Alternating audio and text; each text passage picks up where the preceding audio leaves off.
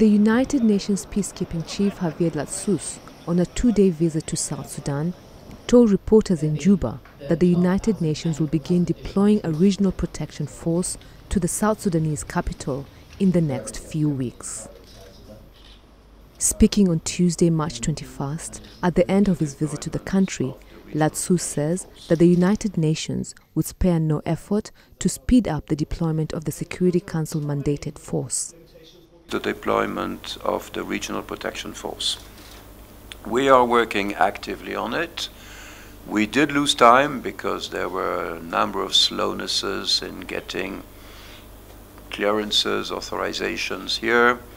Uh, but we are sparing no effort to speed up, and I think I can say that in the next few weeks you will see the first vanguard of the Regional Protection Force being deployed actually here in Juba. And that I think will be a very important signal, you know, that things are moving ahead.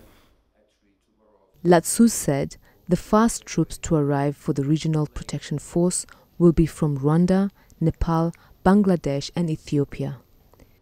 The 4,000 strong protection force was authorized by the Security Council in August of last year in response to a surge in violence in the country.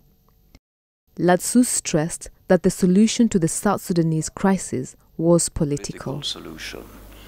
The continuation of hostilities is not a solution because there always be a group or a subgroup, and we do not fail to notice that there are further divisions, further defections, you know, that the picture is getting very complex indeed.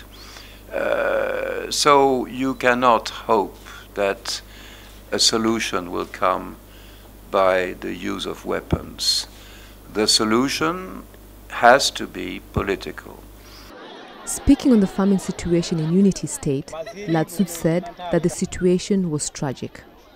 It is a tragic situation, and I believe two counties in Unity, Mayendit and Leer, have been formally declared in a state of famine. And that is not going to improve because right now would be normally the planting, the crop planting season, but farmers simply are not there, are moving around, or have gone abroad.